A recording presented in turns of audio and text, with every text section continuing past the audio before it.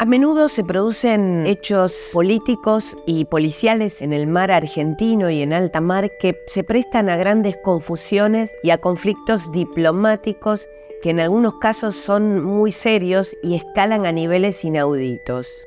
El caso de la distinción entre la milla 200 y la milla 201 en la Argentina es eso. La milla 201 es un espacio operacional para la prefectura. No existe como espacio marítimo en sí. Si hablamos de un espacio marítimo, está situado en la alta mar, donde existen las libertades, libertad de pesca, libertad de navegación, donde la jurisdicción va a estar dada por el estado de abanderamiento de cada uno de esos buques, muy próximo al límite exterior de la zona económica exclusiva argentina, donde debajo existe plataforma continental argentina con los derechos de soberanía que se poseen sobre ella. Por lo tanto, estamos hablando de un espacio complejo, con multiplicidad de actores e intereses, y por eso se lo trata como un espacio en particular. ¿Por qué entonces es importante mirar hoy lo que ocurre en la milla 201, es decir, justo después de que la Argentina no es soberana sobre su territorio marítimo? Vienen a capturar especies transzonales y altamente migratorias de nuestra zona económica exclusiva, es decir, las mismas especies que captura nuestras flotas pesqueras nacionales. La diferencia es que ellos lo hacen sin ningún tipo de control, sin ningún tipo de captura máxima, sin ningún tipo de límite. Entonces vienen a estas zonas del Atlántico Sur para pescar durante 5 o 6 meses, dependiendo de la temporada, especies transzonales sin ningún tipo de límite. La presencia de esta flota en el lugar está dada por la alta riqueza de recursos, es una flota pesquera que por supuesto va detrás de ese recurso y es una de las zonas más ricas del mundo. Esto tiene que ver con la línea de isobata de los 200 metros de profundidad eh, y con la unión de las corrientes de Brasil y de Malvinas que confluyen en este sector generando biodiversidad y riqueza.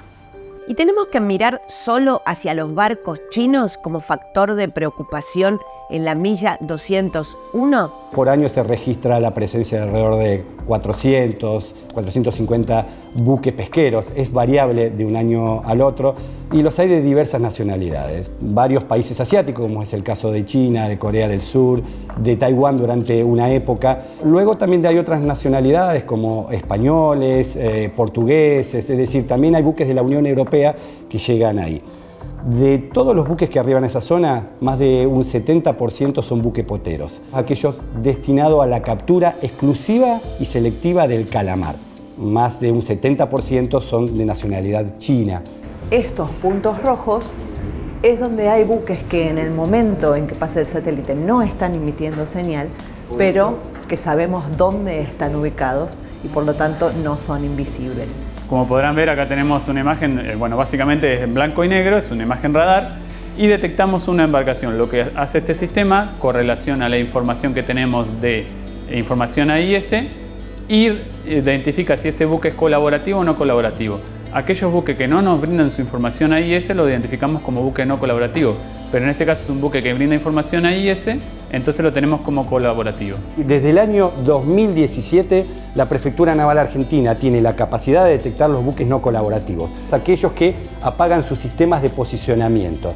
¿Cómo lo hace? A través de tecnología satelital, de imágenes satelitales que nos provee la CONAE, que el mismo sistema guardacosta las analiza, las contrasta con la posición de aquellos que están informando y me determina, me puede detectar qué barcos están, son detectados por los radares de apertura sintética de los satélites de la CONAE y de esa manera puedo, determinar la posición de otros barcos que no están emitiendo en ese momento. Por más que no me aparezca su emisión, puedo ver cuáles son los barcos que están operando a través de una imagen satelital.